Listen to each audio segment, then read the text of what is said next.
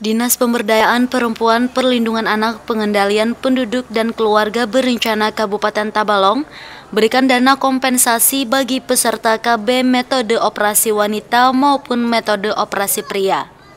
Dana kompensasi sebesar Rp500.000 bagi peserta MO dan Rp1 juta rupiah bagi peserta MOP akan diberikan pasca operasi. KB jenis MO dan MOP sendiri sifatnya permanen dan hanya diperuntukkan bagi pasangan usia subur yang memiliki dua anak. Berbeda dengan MOP yang dapat dilakukan melalui layanan KB keliling, MO harus dilakukan di rumah sakit.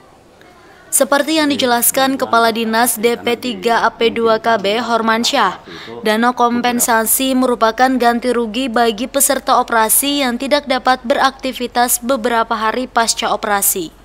Jadi bantuan pasca operasi karena dimungkinkan ya setelah operasi itu beberapa hari itu tidak bisa maksimal kerja.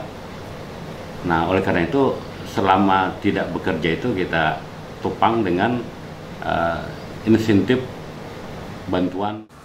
Kompensasi pasca operasi ini sudah berjalan sejak tahun lalu. Di tahun 2017, sasaran target untuk bantuan ini ada 50 peserta. Target yang sama pun diberlakukan di tahun ini dan sudah ada empat peserta mau yang mendapatkannya. Purnama Sari, TV Tabalong melaporkan.